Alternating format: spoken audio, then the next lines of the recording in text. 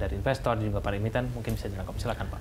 Uh, saya rasa kalau melihat dari kondisi yang sudah terjadi dalam beberapa tahun belakangan hmm. ya kita lihat dari pertumbuhan kita yang sebelumnya minus untuk per tahunnya terus sekarang udah bisa sampai mencapai ke 15 persen hmm. itu betul-betul kita harus apresiasi itu semua benar seperti Pak Kontor bilang adalah pekerja semua yang terkait itu yang bekerja. Baik. Jadi kita sama-sama termasuk investor karena investor juga eh, dengan keyakinannya bahwa bisa mendapatkan capital gain dan yakin dengan pertumbuhan Indonesia itu tentunya uh, menjadi salah satu uh, tonggak dari pertumbuhan dari ISG. Okay. Jadi kalau kita bicara tentang harapan, saya rasa kita harus benar-benar punya keyakinan, bukan hanya harapan karena kita tahun harapan sudah kita lewati di hmm. saat pada saat kita pemilihan presiden di 2014 ya. itu sebelumnya kita memiliki harapan hmm. tapi sekarang adalah tahun keyakinan hmm. tahun-tahun bukan ngarep-ngarep lagi ya. bukan harapan lagi kita harus yakin bahwa okay. apa yang sudah kita tentukan apa yang sudah kita pilih dulu presiden hmm. kalau sekarang apa yang sudah kita beli sahamnya itu kita harus yakin bahwa perusahaan ini punya kinerja yang akan jauh lebih bagus ke depan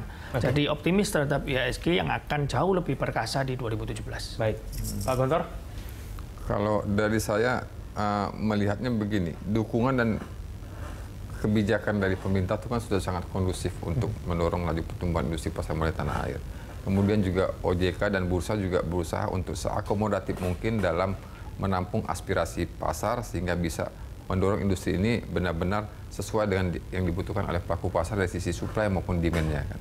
Kemudian ada momentum tax amnesty Kemudian juga kita lihat kesungguhan pemerintah dalam merespons setiap gejolak yang ada, politik, hukum maupun ekonomi kan juga cukup efektif ya. Hmm.